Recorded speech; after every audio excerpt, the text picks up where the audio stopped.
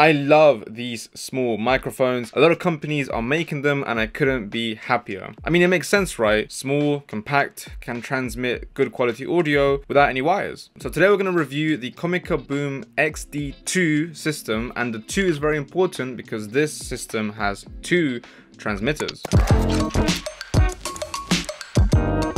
Alright, so Comica sent me these microphones to test, but I'm not obliged to say anything that isn't my own personal opinion. And to be honest, you guys are the judges because I'm going to just show you everything that you could possibly get and expect with these microphones. So we can compare the Comica Boom XD2 to the very popular Rode Wireless Go, except for the fact that with the Comica, you get two transmitters for one receiver, unlike the Rode where you get one transmitter for one receiver. But I will do a full comparison between the Rode and the Comica next week. In this review, I'm to run through only the key items items that I think are worth your attention, the value proposition, the build quality, key features, a sound test, and some cons, and timestamps for everything can be located here below and in the description. So starting with the value proposition, what do you get for what you pay for? Currently on Amazon UK, you can get the whole kit for 225 pounds, which is roughly 260 dollars. And for this, you get two transmitters, each with inbuilt microphones, one receiver, two lavalier mics, all the cables to connect to all the devices you ever need, two wind muffs for the inbuilt microphones, and a charging cable. Also, you get instructions and all of that stuff. And you also get a little key so that you can reset your devices if they ever freeze or something. I'm not really sure why they have that there, but. So when you think about it, this is actually a pretty good deal for what you pay for. You're pretty much ready to just go out and film and use them right out of the box. So yeah, these things are great, but are they even built to last? Is this even made of any good quality?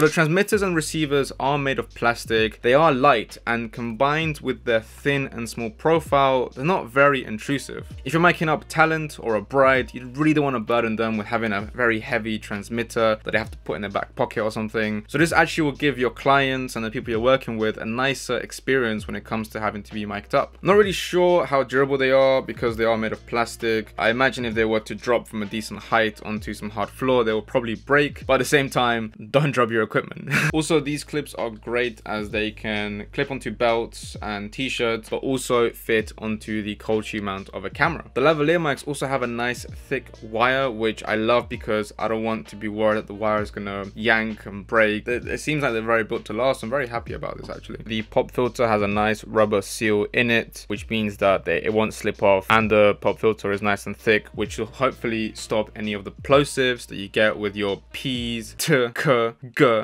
it stops that. I will say that the design of the wind muffs for the inbuilt microphones are some of the best that I have seen from other microphones. They literally just slot in and because they're rubber, they don't come off easily.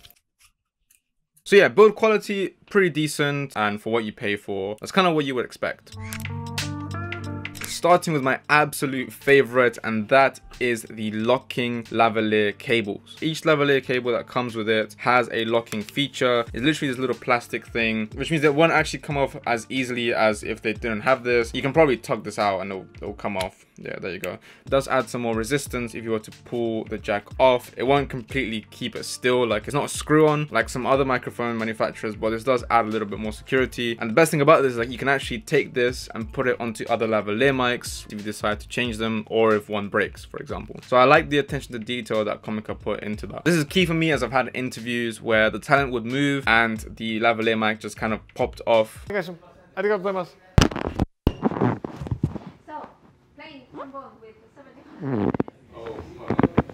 the next feature is the mono and stereo capabilities. As you can see on the power button, it has an M slash S feature. When you have the two transmitters, you can either mix them together into one mono soundtrack or you can split them out into separate stereo soundtracks. And this is great because you can have one person on the left channel, one person on the right channel, and they will be both mono soundtracks, which means that if you're in an interview and somebody's speaking, you don't want to hear the other person breathing or saying anything, you can mute them, no problem. Also, you get a USB charging port, which is great because we're all moving to USB-C anyway. And lastly, each transmitter has a mute button, so if your talent is going to the toilet, then you can just press this button. And also if you're between breaks, you can actually mute it so it's not constantly transmitting audio. So you're actually going to be saving some battery, which is great. And the last feature that I absolutely love is the fact that the receiver has a headphone jack. Now this is fantastic because I own the Canon M50 and the Canon M50 does not have a headphone jack. So I can't monitor my audio. So if you have a camera that doesn't have a headphone jack, you can actually monitor your audio just from the receiver. It also means that two people can monitor the audio. For example, with the Sony a7 III, it has a headphone jack. So I can connect my headphones and somebody else can connect their headphones to the receiver. So it's a really great feature that they included in this.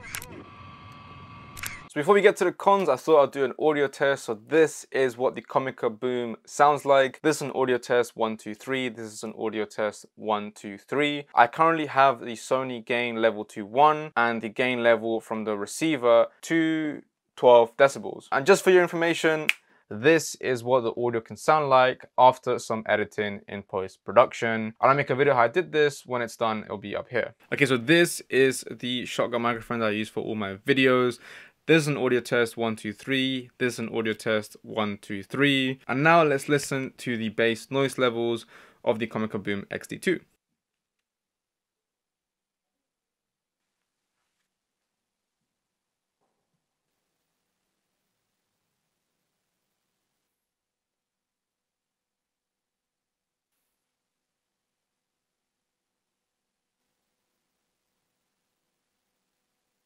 I'd like to let you know that also if you're using a shotgun microphone and the receiver, just like with the Rode Wireless Go, you're going to get some interference. If I actually turn the receiver on, what you can listen to right now is interference and you get that with all of these wireless 2.4 gigahertz frequency sets.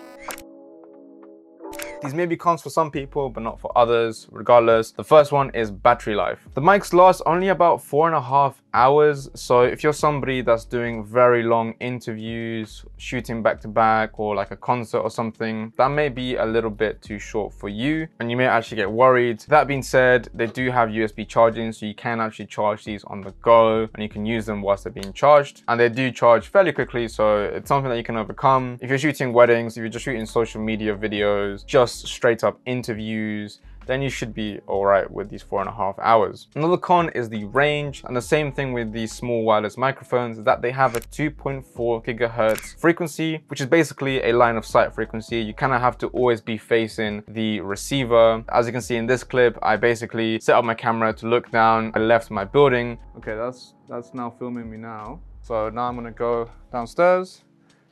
See you in a second.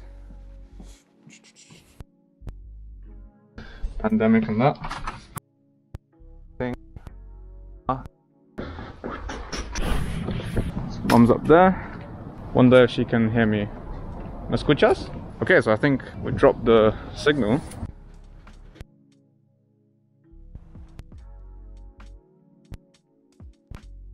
Okay, so yes and no. Okay, interesting. Good test. Going back up, it's cold. You really don't want to use these when there's a lot of things between you. So if you're shooting sports events or something on broadcast where there's a lot of people and a lot of things going on, this might not be the one for you. It really is for like where you have a line of sight as to who you're actually recording audio from. So that's it for the review. I'll let you judge whether this microphone actually suits you and you let me know in the comments below if it does, what you thought of this review. I personally think this is very good for social media creators, vloggers, those making YouTube videos, videos, if you're teaching with a whiteboard, but if you're a broadcast person, if you're doing high-end commercials, TV shows or videos like that, you might want something a bit more rigid that has a stronger signal that you can really rely on. And that's why you spend more money on higher end audio equipment. So for me personally, I know the limitations of these microphones and I'm happy with them for the kind of videos that I do. And I always recommend when you get new camera gear to always test the limitations, know its limits so that when you go out and make a video and do a project, you're not exceeding these limitations and you're not going to be surprised when you get home that the audio is not working or something happened just because you didn't actually know what the limits were. With that being said, I hope that was useful. If it brought you some value, please give it a like because it helps me out. And if you're down there, make sure to subscribe to the channel to see more videos like these. And with all that being said,